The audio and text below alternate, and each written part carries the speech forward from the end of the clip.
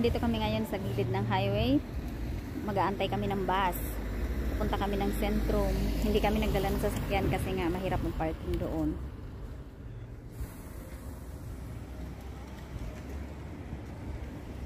Andun banda yung camping site.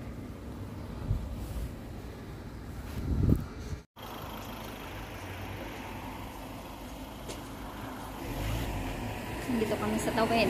Tumawid kami. Dito pala yung tayo ng bus. Akala namin dun sa kabila. Ito ang aming ticket. First time namin mag-take ng local bus. As in a bus. Dito sa Norway.